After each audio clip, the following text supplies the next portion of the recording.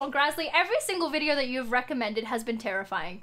And um, if, if, if I don't know, I don't know. Nah, it hasn't been terrifying. It's been pretty good. But I'm excited for this one. So, Doom Eternal review, alpha male game. Oh. Okay. I swear to God, if you throw me into that portal, I will fall. You were never one of us. I fucking love this game, but this dude was horrifying, especially in the in the first expansion, in Ancient Gods Part One.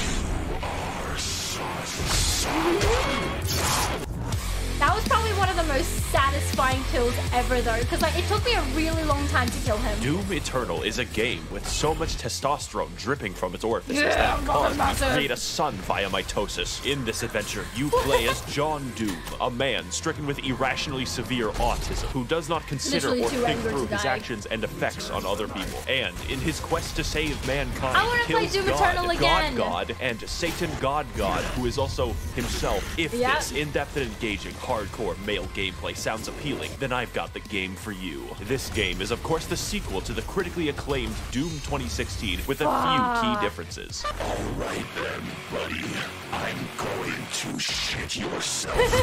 which meaningfully extends and builds off of the gameplay and challenges that we love. Then extends them some more off of a fucking cliff until the product that emerges out the other side resembles crack concentrate. the if you're watching this, I'm assuming you've probably played the game since I don't actually want to help people buy hard. things. I'm here to entertain people, and if you're clamoring for good. entertainment and haven't purchased this game yet, do yourself a favor. There's enough male hormones here to transition someone, and I can guarantee you results, my fellow Sigma males. So whether you're a psychopath like me or new to modern Doom games, come with me on this amazing journey through Twitch gameplay, beautiful environments, nonsensically fucked up lore, and remixed Mongolian throat singing. Dude, For money is like, temporary, on but Doom Doom is eternal. Exactly. The gameplay was pretty nutty. I I would say that Doom Eternal's kills that they gameplay is quite unique, and not for the reasons that you would think. Everything in Doom Eternal is funneled directly into a single, robust, multifaceted, multinational, and unilaterally combat system, from which the entire game is built around. But Maxor, I hear you thinking, that's every game ever. Yes. Every good game ever. If I, for instance, became 12 and booted up GTA 5, I would be able to do at least a dozen unfun activities. Doom's design is focused harder than the average Persona fan on his local playground, and that is special. You will play the game in the way that is fun, or you will lose. So as good as 2016 was, a Polygon journalist could beat the first half, and that's unacceptable. Because yes, it is actually unfun to play games after having a lobotomy. In other games, I get to What's choose between things like stealth, vehicles, or outright combat. Yet Doom Eternal asks the question, why not force you to use every mechanic all the time without stopping? In a world where AAA studios try to pander to everyone, it's refreshing to have a game that sets out to do one thing the best, and actually have developers who give a shit about linear design and gameplay. And the main component of that gameplay is the arsenal, because John Doom uses every weapon throughout the game. The first shotgun is used in the last level, and the last level is used by the first shotgun. When you get an upgrade, it isn't a replacement, it's a genuine addition to your arsenal. Every one of them has specific uses, and yet these don't interfere at all.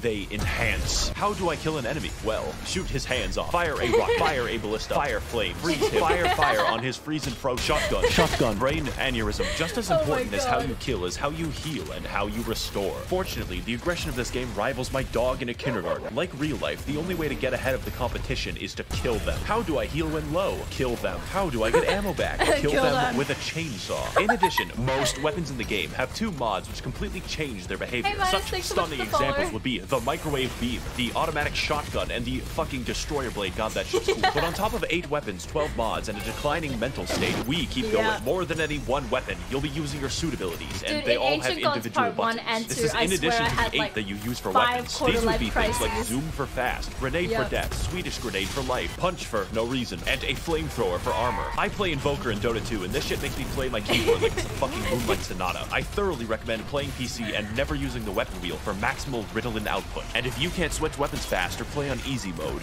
that's fine, man. We're all busy. How about I give you two more buttons? You thought I was done. There's two ways to kill a demon in Doom Eternal the fun way or the funny way. And to maximize the funniness level, we have the Crucible, which is a direct, instantaneous kill on every enemy. Giant area boss, Not- dead. not everyone, Previous though. area boss, dead. The final boss, fuck fuck 'em. Now I hear you thinking, Josh, that sounds pretty strong. Oh boy, buckle your ass. Because the second super weapon on my extensive list of two things is the BFG, which canonically Dude, I stands misused for the Big BFG Fucking so Gun. much. Also canonically, it I fires a hole it so directly into the core of Mars. You can't just shoot a hole into the surface. Hmm, watch me, of bitch. Now, I could kill an enemy the long way, or I could kill him and his dog faster than the ATF at Waco. It clears out was everything you can see instantly. I am so thankful the game limits how many times you can do this. Now, I understand that at first this may seem complicated, but that just isn't true because the entire game is effectively a tutorial for hard mode. And because you're always learning as you play, it never feels stale. Doom even lets you choose what stats and runes to upgrade. I spec entirely into mobility and ammo, making my character a flimsy, crack-addled spider monkey. As a side note, we should release dozens or possibly hundreds of macaques into New York City. They can survive there. Why does Thailand get to keep all of the good monkeys? So what more is there to learn about Doom Eternal?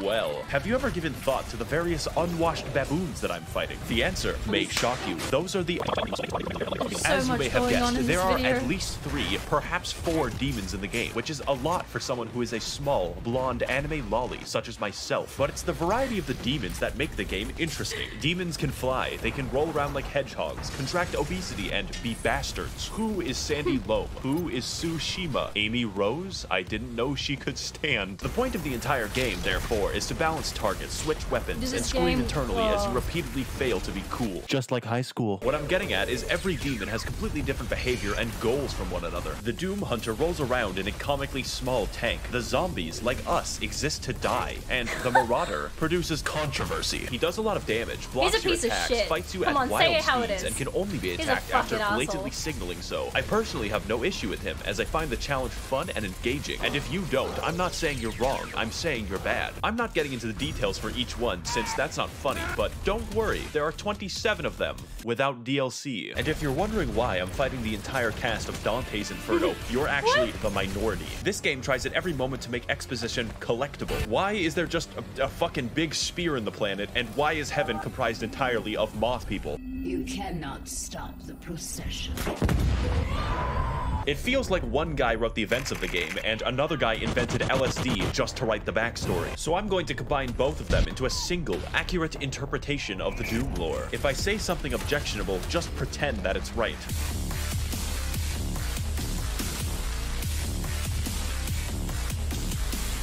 One Brazilian years ago, there was a guy named The Dad who was effectively God, and he made moths in lamp heaven called the Maykrs. Every 10,000 years, all moths combine their collective consciousness into one giga moth called the Khan Maykr, who is the Moth Pope. So the moths Khan rule over the galaxy, sort of, until Earth happens, and then we start fucking everything up. The Moth Pope finds John Doom after a spree of murders, and he explains to her that yes, hell exists. It's weird that humans knew about hell before God. Anyways, the Moth Pope, after finding out that hell is real, very reasonably decides to sacrifice a planet to it. See, it turns out that God literally pieced the fuck out like 10 million years ago and let the moths do whatever they wanted. So now the Khan Maykr cannot be replaced and cannot die, so she sort of goes insane from the constant immortality. Now the plan is to get some of that sweet hell energy by repeatedly sacrificing entire planets to the Dark Lord in exchange for it. Meanwhile, a sentient robot named Samuel Hayden is very busy on Mars. Earth has this problem called climate change, and we need to find a new energy source. So instead of something hard and difficult like solar power, Samuel Hayden is like, what if we extract this cool blue energy from hell? Also, it's on Mars. Earth does this until Hell begins breaking into Mars and John Doom stops them, which is the plot of Doom 2016. This makes Samuel Hayden mad because he's funded by the Koch brothers and really doesn't want to build a windmill. So instead of destroying the demonic crucible, he just brings it back to Earth and catapults John Doom into the backstory planet. If you think that sounds unreasonable, just remember that we considered blotting out the sun before building a fucking solar panel. I only poo-poo farted for the good of humanity. Unsurprisingly, demons invade to recycle Earth into blue energy for the Moth Pope, so John Doom has to fight both Catholics and Hell. And as you go through the game, you might notice that it just brings up random shit at will. Like, oh, sorry, the Soul Factory is being held there by two gigantic titans, and it's like, okay, I guess Attack on Titan is real now. Doomslayer, you'll need this knife to kill my son. Oh shit, what'd he do? He's the giant That guy uncontrollable so rude. The plot of the main game, to understate it, is psychotic and acts as an increasing checklist of galactically convoluted convoluted tasks. Just in this one game, John Doom finds an ancient city like three times, goes to the North Pole to kill Santa, fights Croatia, does a little trolling, does a little cockfighting, invades heaven, and permanently kills God, but we'll get back to that. Doom 2016 took place on Mars, but this game has you slung around the universe on a fucking bungee cord, so I understand completely when people say they don't play Doom Eternal for the plot. They're just Yeah. wrong. I play Doom Eternal for the plot, and that hmm. might sound strange to you, but Eternal's plot is pure insanity, and it does everything that it needs to. We are painfully aware that the plot exists as a contrivance because the environmental designer went fucking ballistic. I just don't care. I played every single level, gleefully wondering, oh boy, what stupid shit is next? I cannot fucking We should wait. play it so but on a play the harder game for the plot. It is integral to the experience of Doom Eternal. Oh, but Maxor, there's a plot hole. How did the Doomslayer get the first? Everything I've said so far, except some of it, applies in full partially to the base game. But there's 40 dollar dues of DLC where the gameplay is faster, the challenge harder, and the plot somehow even fucking worse in all the right departments. 2016 was a wash. Eternal is Usain Bolt, and the Ancient Gods is fucking Venezuelan inflation. You thought it was over when John Doom beat the demons and destroyed all of heaven, but you were wrong. That's just the beginning. And with both parts of the DLC now fully out, my recommendation cannot be understated. Let's get into why, and more importantly, what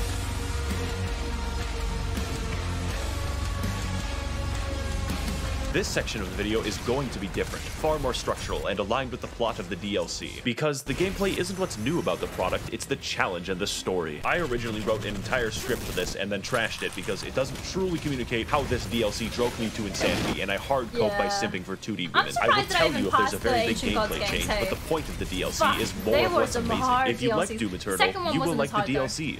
Period. Okay, so Samuel Hayden. You might know him for his various appearances on political YouTube debates advocating for carbon positivity. It turns out that he's not a robot, he's a fucking angel. Also, John Doom's Alexa is God. That's not a joke or exaggeration. His name is Vega, and he is the physical remnant of God's consciousness in AI form. So Samuel, now a fucking divine being, wants you to revive him since both God and Satan are trapped in volleyballs. At this point, the video can't count as spoilers because it makes no fucking sense. The first DLC is essentially trolling because you kill God. Why? Well, obviously to revive Satan, exclusively so you can fight him. What could go wrong? Of particular note here on the gameplay side is the final boss, who is Samuel Hayden. Because holy shit, this fight is hard. Also, the premise is ridiculous, and my enjoyment of the game is hurt Oh, by neither. fuck Every this aspect of this is speedy, fun, and everything else I've already said about the game in general. Fuck, and when you finally beat. Samuel and revive the Dark Lord, it turns out he's you. Yeah. The only thing in the And world that could possibly a kill John just Doom a um, himself. cliffhanger for the second part of the expansion. Yep. No blood. He looked pretty cool, not gonna lie. It was pretty sick. And Then when you actually like fight him, you're like, oh.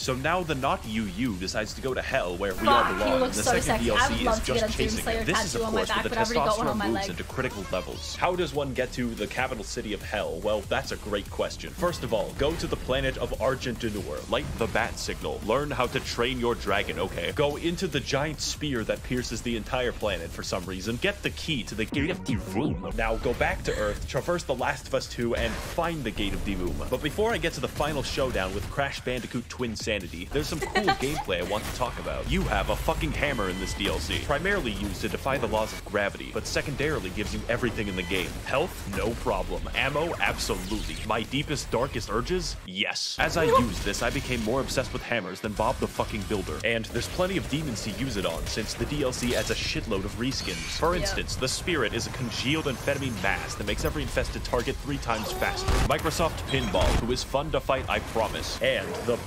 Bloodmakers. They are my original OC. Do not steal it. So now that we've reached Cleveland, it's time for the DLC to gain style. This is the culmination of all of our work. The final battle against Satan himself. And holy shit, you can feel it. When the Sentinel army shows up and everyone's ready to kick ass, you just can't help but feel like your dick is being tickled. Cleveland lives up to the hype too, for once, because it's a non-stop battle of epic proportions right up until the final boss. This is a universe which implicitly acknowledges your godlike power by making the only credible threat to you your identical twin with red eyes in a Gundam. That is called fucking gameplay, and it's a beautiful send-off right up until the the man himself, who awkwardly world. waddles around the arena like a Like the penguin, first but that's of times, fine. The fight is still cool. fuck.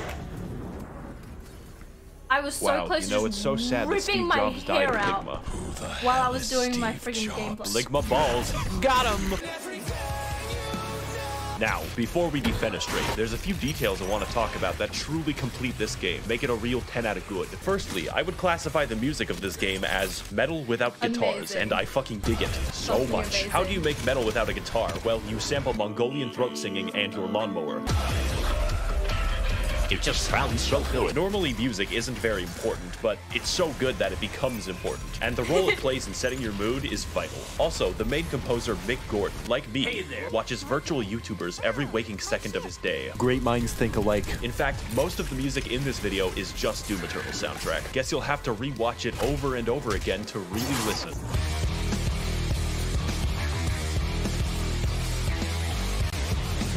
Dude, when I go pick up Kevin now, I'm really just gonna good. have Not the Doom a, Eternal oh, wow, soundtrack and also the Doom I'm 2016 stroking out way. soundtrack. It's more like, how does literally anyone have time to model all of the geometry in the game? It is unreal. It is so downright inspired that it makes you feel bad while playing it. Doom Eternal is such a fast and pulse-pounding game that it's like sprinting through the fucking Louvre. like how am I supposed to appreciate the Mona Lisa when it looks like this? Should you buy the game? Yes, I am very biased. If speed and action is what you crave and you want to induce cardiac arrest early, this is your game. I would like to thank the Demonic Brotherhood funding this channel in exchange for their souls. If you would like to engage in blood sacrifice on my behalf, you can head to my Patreon to learn more. Thank you all for watching, and of course, run, they're coming.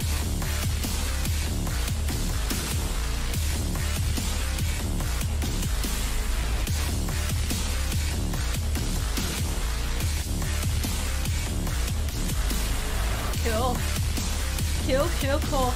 I'm gonna say that's my favorite video I've watched in a fucking long time, and that I'm sorry, but that's including that's including the Kenobi trailer. No, I'm, I'm joking. I'm, I really like the Kenobi trailer. Uh, Psych, thank you so much for subscribing. That is for four months. Thank you. Oh my gosh, thank you so much, my dude. HII at JenTCC. Love the hair, less than three. Thank you, thank you so less than three. What? It's a heart, you little shit. Thank you so much. Resume the download. I shall. I shall, my dude. Thank you so much for that recommendation, Grasley. That was fucking amazing. And I'm gonna be watching a lot more of this guy's channel. That was a lot. He talks so quickly, but I can finally understand what he means because this is what I need. This is what I need people to talk like because I fucking talk like crazy. No, it was, it was, I assume that this is what it feels like to to words. Drugs. Yep, yep, that's it. But that was fucking amazing though. That was probably the best summary of all the Doom games that I've actually heard. Like Doom 2016 was alright, it was fucking amazing. Uh Doom Eternal was incredible. When it came out was fucking amazing. The gameplay at the very end was just wow. The final glory kill, wow. Um, I also didn't finish Doom 2016 on stream because I played it off stream whenever um sorry when my internet cut out so I just played like the full ending and I was raging like crazy when I was going against that bitch the fucking spider looking brain looking bitch. She was hard to go against. That was that was my first dip into how horrifyingly painful Doom can be. And then I was I was shown Doom Eternal Ancient Gods Part 1 and that's when I knew. Real pain and misery. That was really bad. And then Doom Ancient Gods Part 2 was pretty good. I think I, I think part two was a lot better than part one. Story wise, part one was really good, but then the and, and like the cliffhanger made it a lot better, especially seeing like your literal like alter alter self be like the big big boy big bad boy at the very end of the game. No, it was cool. I very I, I very much enjoyed it. If you guys want to play Doom Eternal or any of the expansions again, I would fucking love to do it. Do you guys want to do it? I want to fucking let's do it. Is it time for some more salad eating ASMR? The salad's soggy. I don't want it. All right. Anyway, I'm gonna go now. I hope.